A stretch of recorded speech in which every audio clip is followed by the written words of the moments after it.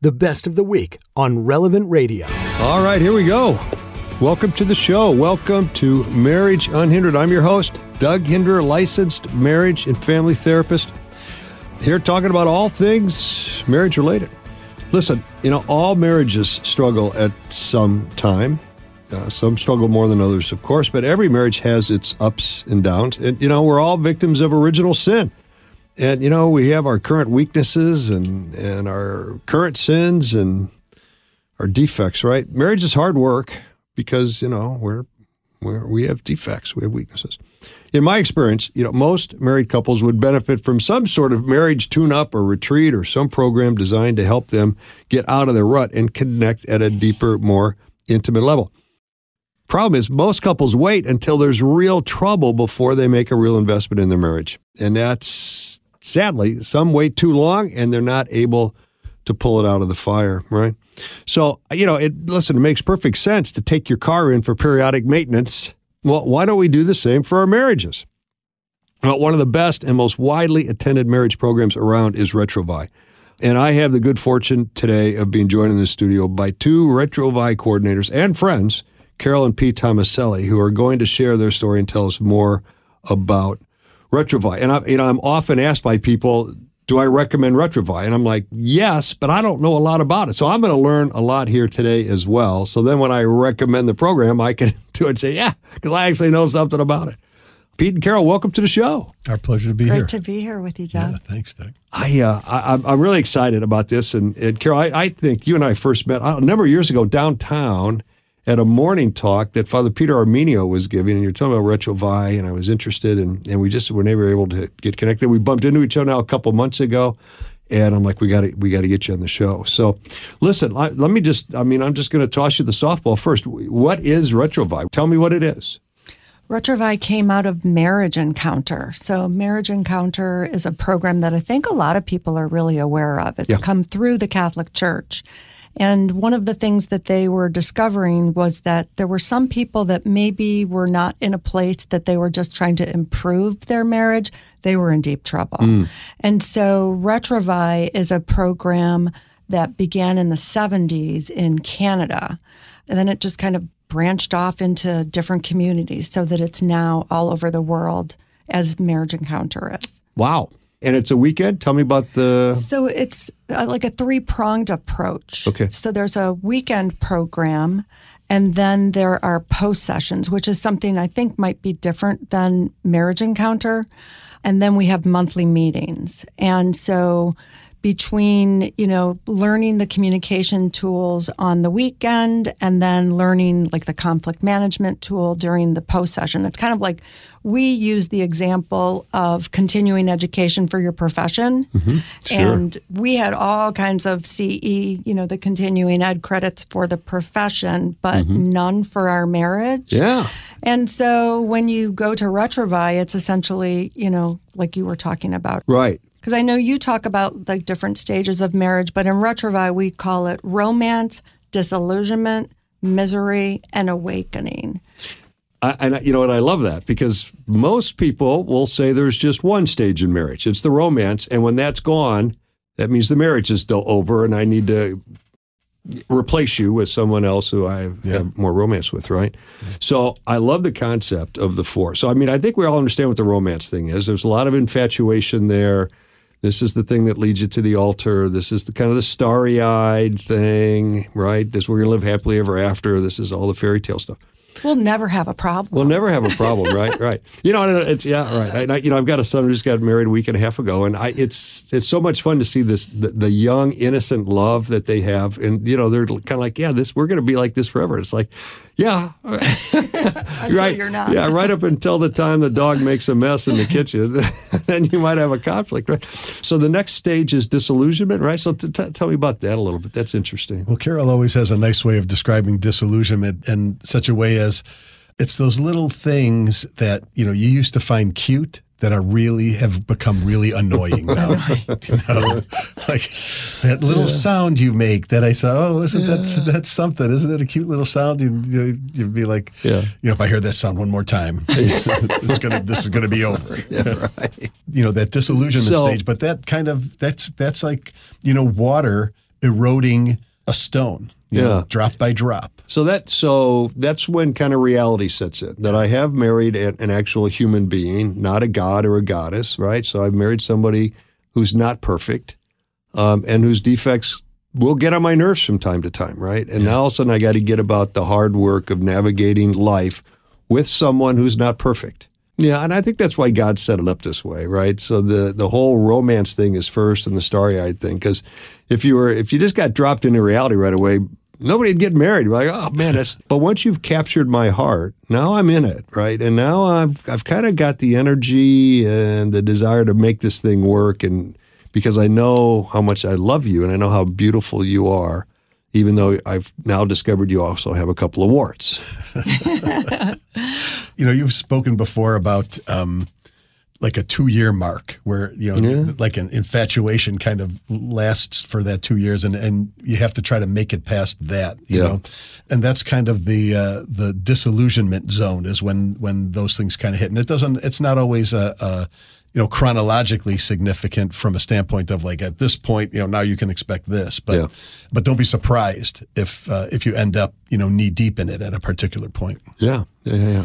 Well, and opposites attract. At the beginning, it's Oh. very exciting that he's so much different than me, right? And then, you know, that's where disillusionment and those defects are unbelievable. And then, of course, we only fixate on what our spouse's defects are Yeah, and yeah. not necessarily seeing what ours might be. Mm-hmm. Yeah, yeah. So disillusionment Yeah, then can very easily move towards the misery when Yeah. it goes pushed under the rug and set aside, and then there becomes this like roommate kind of yeah. scenario. Right. So I'm becoming disillusioned, and and if I don't know how to talk about it, right, or if I bring it up in ways that irritate you, so it always ends up in a fight as opposed to a solution. That's right? right. The illusion, the, the disillusionment continues to grow, and then all of a sudden I wake up one day and I'm just kind of miserable. Yeah. And you're beginning to kind of veer apart. And so when you think about like two parallel lines that are running next to each other, and then when when it's just off by one degree, one of those lines is off by one degree, and you look on the horizon and they seem like you can't even see both lines together Yeah. anymore in your in your line of sight. I love that. Yeah, that's a good picture. Um, And, and that's you know that's kind of what happens. And and in Retrouvaille parlance, there's a lot of a lot of things that we discuss, and one of them. You know, you talk about family of origin and things like that, but one of the things that they talk about in Retrouvaille is something called the married singles lifestyle. And I don't want to give away too much because we want couples to come Yeah, and learn about it at a weekend, but it could be things like volunteering at the church you know so, something that you know that's really uh, intended to have a, a good outcome and and you, you've got the best interests of somebody at heart Yeah. it just might not be your spouse Right. you know and and when you're inundated in those things and you're and you're just overoccupied with them you start to lead those parallel lifestyles and then you start to see the drifting taking place Right. Yeah, you, you, you take your eye off the most important thing in your life, which is your spouse. Yes. And um, I had a, a couple that I had worked with. It was during COVID, I guess. The wife had had two affairs, and the husband was so uh, cool about that. He said, "Listen, Doug, I'm partly to blame for my wife's affairs." I'm like, "Really? Talk to me about that." And he said, "You know what?" He said, "Listen, I played college football, and he said I know." that as an athlete, if I take my eye off the ball, I'm going to drop it. And he said, I was taking care of everybody but my wife. He said, you know, I was working hard at work trying to make some money to build a good standard of living for my family. I was coaching my kids' sports teams. I'm on two committees down at the parish. I'm taking care of everybody but her, and I left her lonely and I left her vulnerable. And I tell you what, I mean, I was so edified. And that guy, I mean, he owned it. He said, I, I got to change. And she's got to change too. We got to stop that behavior. But I got to do things different too in this marriage. She's not 100% responsible for this. I got my piece of it. And they did. They, they pulled it together. It didn't take too long. I, there was a lot of raw emotion. There were a lot of yelling and cussing and swearing and crying. And but they, they pulled it together. Well, you know, introspection is so important in any kind Yeah. of uh, any kind of resolution like that, and that was clearly a gentleman who understood his complicity in the in the demise of the marriage. And And that's important. And that's that's important with Retrouvaille, you know, that you own what your side of the, uh, you, know, you know, you own what your issue is. Yeah. You know, Carol talks about keeping your side of the street clean. And, Yeah. and I always talk about, like, in my work, I talk about staying in your lane, you know, like, Yeah. like don't, you know, do what you can do, but don't get in trouble doing what you can't, you know. Marriage is just so analogous to everything that goes on in life, Mm-hmm. you know, and, and because life is tough and messy and Yeah. uh, unpredictable, unfortunately, sometimes marriage becomes the same. It does. Yeah. So I think right. So that that when you get to that misery point, is your experience that where a lot of couples decide to pull the plug and say I'm miserable and I'm moving on? Well, the interesting part that I learned was that, like, if you end your relationship in disillusionment or misery, you have like an 85% chance of repeating it in the next relationship. Is that right?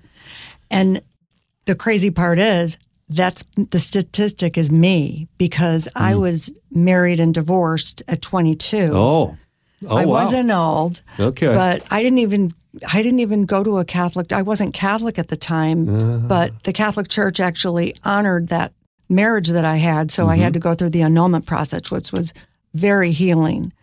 And then here I was again in a challenging marriage. yeah.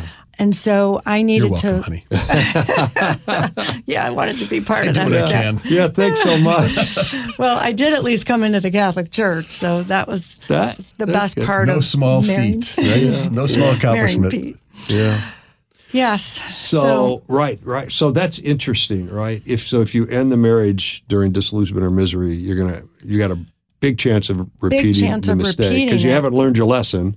And I've blamed you for all of my problems. and guess what? The common denominator was me. Yeah, yeah, yeah, yeah, yeah. So I, you know, came to terms with that. And so when I found Retrouvaille, I was so curious. I read about the four stages and this awakening. Mm-hmm. I'm like, what is that? I've never heard of the awakening stage. And so that's how I kind of signed up. You know, he didn't want to go um, at the beginning. It took a bit, but my hunch is that's more the norm, where the wife wants to go and the husband comes up. Not always, but, Kick but, in. but, Goes but a lot of It times goes it's ways. one or the other. Yeah, usually one of them is it's- like, it's I'm not not doing always like like a unanimous decision of two. Yeah. It is. Sometimes it is. I mean, I talked with somebody today, Yeah. and it sounded like both of them. They were just going to hope that they could find babysitting, okay. You know, because they had a couple small kids, and Yeah. it is really challenging those early years of marriage when It the is. kids are And you small. talked about that yesterday when one person is not willing to to Yeah. change or not willing to forgive or not willing to anything,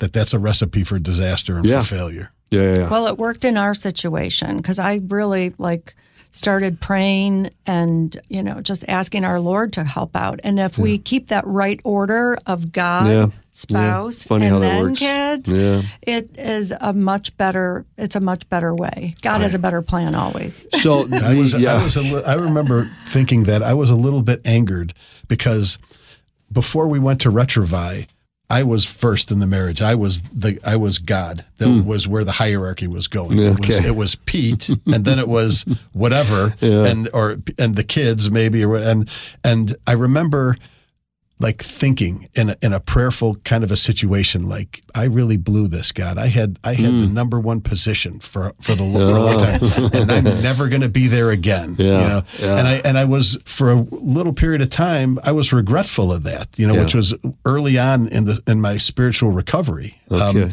I don't know that I've ever even spoken about that or admitted that to to anybody but you know when I finally realized that I could not be first. God had to be first, and yeah, and yeah. Uh, I mean that was that was life changing and marriage changing. For See, us. and that's that, that's my theory, and I, I hope to write a book about it someday. But but to me, the, the core reason for most of the marriages that fall apart is just selfishness. Yeah, I'm first and you're second. So your job is to make me happy. And as long as you're doing that, we're going to be just fine, right? and if you think the same thing, that my job is to make you happy, right? Now we got a problem, right, right? it's it's this this selfishness thing. So Yeah. this awakening to joy. So Carol, is this is this kind of like a, a, lightning bolt moment, or is it a slow awakening, or is it different for every couple? How to talk a little bit more about that awakening? What's that? How well, does that I think it's probably a slow process. It might be a lightning bolt for some, um, it's but probably different for everybody. It is. It is different for everybody. And then, of course, you know, we're human, so some days are like, oh, total joy, Yeah, yeah, we're yeah. in like major awakening, and then all of a sudden, you know, that little habit comes back. And, Yeah. You know, but the um, good news is that being involved in Retrouvaille and staying in this program and continuing Yeah. with our monthly meetings, you know, we have like a support system that we won't last Okay. long in in, Yeah. in a problem. So. This entire episode of Marriage Unhindered is on the updated Relevant Radio app. The Relevant Radio app is completely free and updated daily with fresh articles, podcasts, and prayers.